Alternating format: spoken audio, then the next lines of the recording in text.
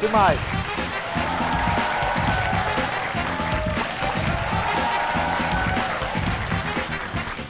chào cô với em cảm ơn cô với em đã tham gia chương trình. Rồi mời cô giới thiệu về mình. Cô tên là Kim Chi Cô là diễn viên tự do. Ồ. À, Năm nay cô 62 tuổi. Tất cả gia đình cô thì sinh sống ở quận Bình Thạnh. Rồi mời em. Em tên Ngọc Mai.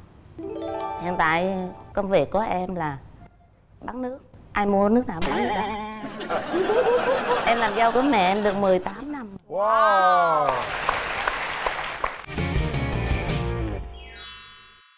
Ờ, cái ngày đầu tiên mà cô à, dắt về gặp mặt thì cô có ấn tượng gì không? Nói thiệt là trước đó thì cô nghe nói trước đó là nó nó bán cà phê Thì cô lại không thích. Cái kiểu mà nó cà phê mà quen người này người kia Thì chắc là cà phê ôm đây. Trời. Xin lỗi mấy cái con bé này thôi là đáo để lắm. Thôi rồi rồi. Nếu mà nó lấy con nhỏ này á Là nó tiêu. Tại vì mình thương con mà. Cái ngày mà nó làm dâu đầu tiên á nha Nó quê nó ở Long An lận. Cô giáo bảo cô thử coi. Bây giờ là mẹ đi chợ nha. Con nhà con nấu cơm nha.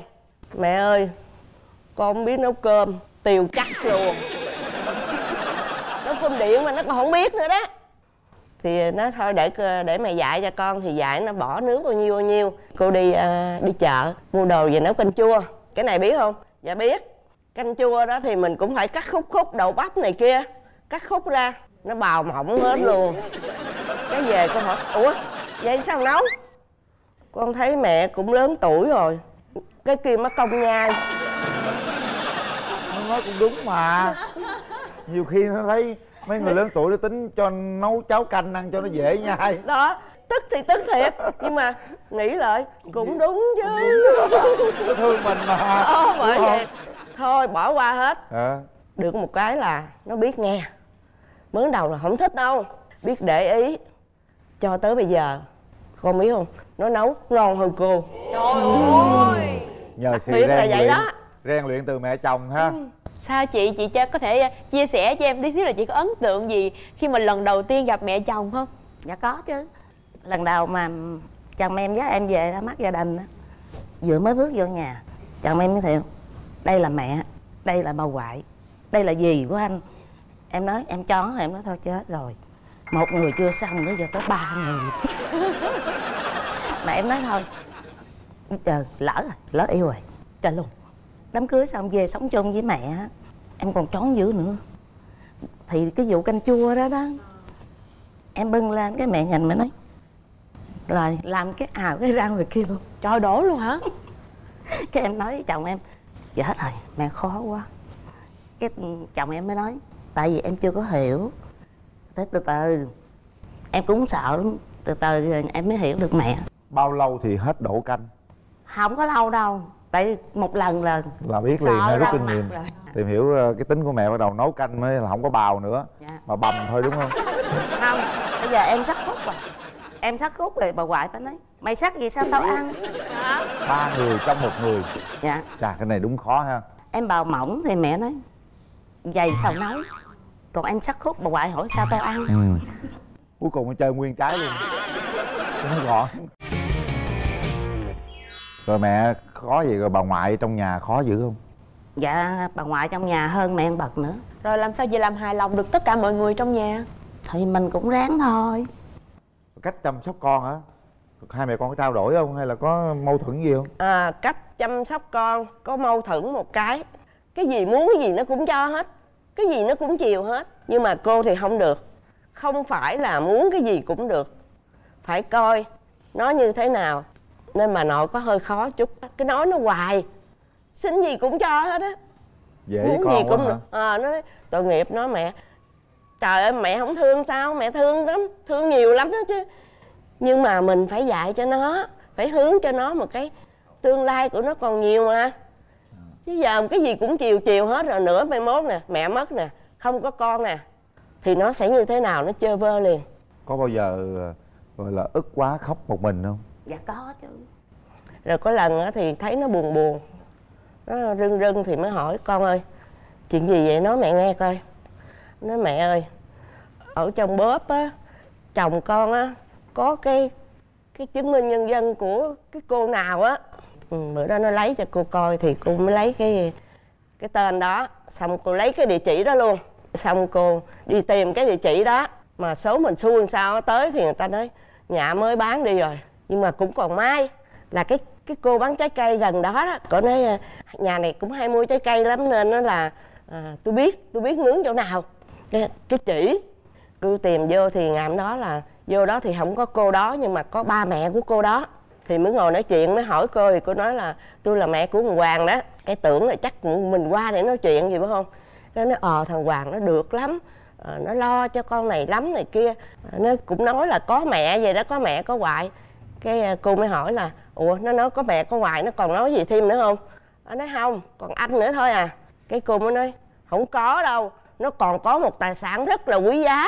Mà nó không kể nghe hả? Nó nói, không, nó còn một vợ với hai đứa con nữa. Cái bà mới tá quả ra, bà nói, ủa, vậy hả chị?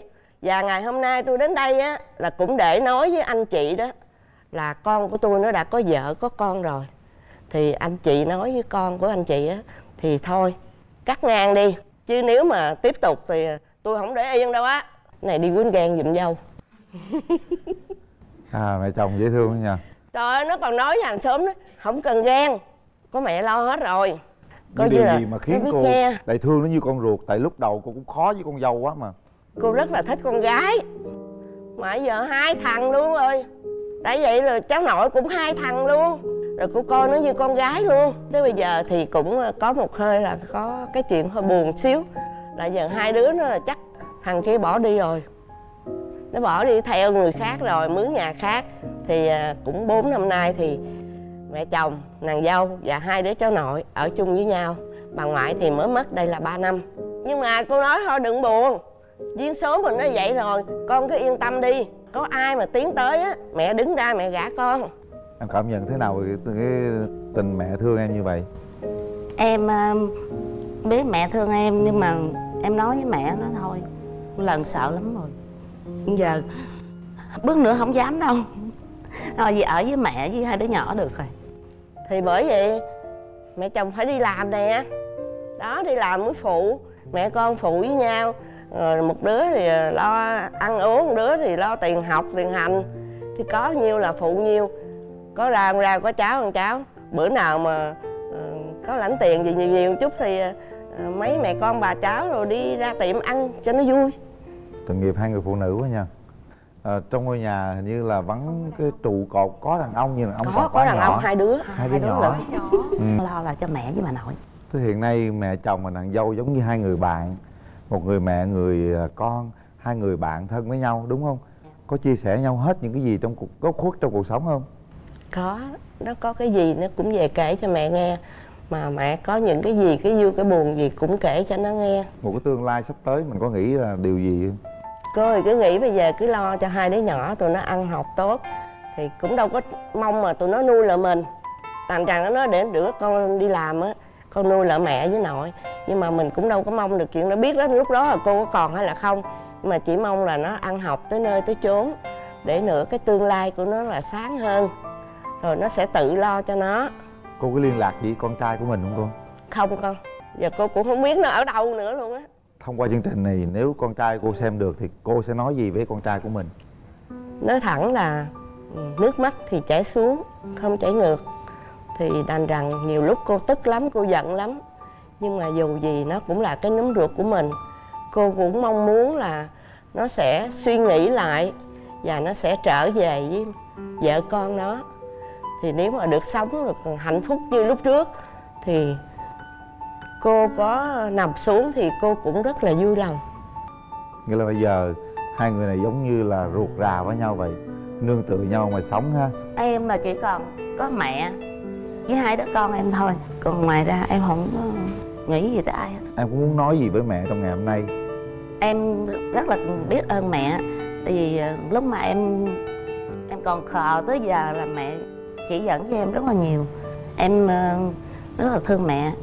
Dầu em không có chồng ở đó nhưng mà em vẫn ở với mẹ em chứ em không có bỏ mẹ Còn cô? thì à, xin phép Quyền Linh à, xin phép với cả khán giả cô có một cái bài thơ để cô tặng các nàng dâu. Tuy chẳng có công sinh nhưng mẹ vẫn mong mình có thêm người con gái bởi đời mẹ luôn nắng mưa dầu dãi. Con gái ngoan để đỡ đần khi trái gió trở trời. Bước chân về, con bỡ ngỡ chơ vơ. Cô dâu nào mới về nhà chồng mà chẳng vậy? Nhưng con ơi, chẳng có gì là không thể. Khi ta sống chân thành và biết nghĩ cho nhau, có nuôi con mới biết lòng cha mẹ. Câu ca này sống mãi với ngàn năm. Chỗ khô luôn mẹ để con nằm, nơi chỗ ướt mẹ dành phần tất cả điều giản dị ấy chắc giờ con đã hiểu. Làm mẹ sinh con đó là điều kỳ diệu muôn đời. Hay quá. Thôi bỏ qua chuyện buồn nãy giờ đi ha. Mẹ con có thường hay giỡn chơi vui đi, đi chơi này kia giải trí này kia không? Dạ có. Tại vì à, như những ngày à, chủ nhật á những ngày nào mà coi như thấy rảnh hết á là hai à, mấy bà cháu mẹ con thì dẫn nhau đi chơi đi siêu thị này kia. Đó. Để à, vô chơi hoặc là đi vô à, cái gì à, đầm sen. Hai mẹ con đạp đạp à hai mẹ con đạp vịt ha. Thấy à, mẹ chồng nàng dâu đạp vịt. Nếu bây giờ cô ấy dắt hai con về quê luôn thì cô có sợ những ngày đó xảy ra không? Cô sợ chứ nhưng mà nó đi chừng vài bữa nó cũng trở về à. Chắc luôn rồi. Bây giờ tình yêu của mẹ chồng nàng dâu nó lớn hơn là tình, tình yêu của chồng vợ luôn nữa. Đây là một cái tình yêu có thể nói rất là đặc biệt mà mẹ chồng và nàng dâu dành cho nhau. Rồi cô có cô muốn nói gì con dâu muốn thay đổi gì? À nãy giờ mẹ nói thì giữa mẹ với con chỉ có cái mâu thuẫn đó là cái việc dạy con thì nó xin cái gì nó muốn cái gì thì con phải xem xét như thế nào. Chứ con đừng cứ nghĩ là nó thiếu tình thương của cha rồi á là cứ chiều cứ chiều. Chỉ có cái đó thôi. Hứa với mẹ đi. Con hứa. Trời, hứa cho hứa mạnh mạnh đi. À, hứa chịu hứa à hứa nhẹ quá à. Ha. mẹ em là ok lắm rồi. Đấy. một mối tình rất là đặc biệt ha mẹ có gương mặt rất là đẹp phúc hậu ha. Đấy một kỷ niệm gửi tặng cho chuyên uh, gia đình. Dạ con có phần quà gửi tặng cô và chị. Và đây nước yến đông trùng hạ thảo của thương hiệu Sinh Hy. Dạ à, chúc sức khỏe cô và chị. Cảm ơn cô và chị đã đến với chương trình. Dạ lên hôm nay chúng tôi đã kể cho quý vị nghe hai câu chuyện của hai gia đình có những khoảng lặng có những nụ cười có những niềm vui. Nhưng tôi luôn luôn hy vọng rằng trong tất cả cái tình cảm của mẹ chồng nàng dâu luôn luôn gắn chặt với nhau yêu thương nhiều hơn và sống cho nhau. Con muốn gì không? À, Hồi nãy á à, khi mà con nghe cái câu chuyện vừa rồi nè Ừ. Thì con thấy sợ mẹ chồng này. Con thấy là cô này cũng hơi chắc hơi dữ á. Ừ. Nhưng mà sau khi từ từ nghe câu chuyện dần dần thì thấy người mẹ chồng này quá là xuất sắc. Và con cảm nhận một điều là những người phụ nữ trong căn nhà này rất là tuyệt vời Và đặc biệt là những người phụ nữ đã làm mẹ. Họ chính là những con người rất bản lĩnh luôn luôn vượt qua những cái sóng gió để tìm đến hạnh phúc của từng thành viên trong gia đình. Dạ. chúc họ mãi mãi như vậy. Chúc tất cả quý vị luôn luôn hạnh phúc và bình an trong cuộc sống. Còn bây giờ thời gian phát sóng đã hết. Chúng tôi hẹn gặp lại vào lúc 15 giờ 30 thứ bảy hàng tuần trên kênh HTV7 đài truyền hình thành phố Hồ Chí Minh và có thể thêm lại chương trình qua cổng thông tin MCV Media hoặc cổng thông tin Lớp TV. Cảm ơn sự đồng hành của tất cả mọi người cùng với mẹ chồng nàng dâu.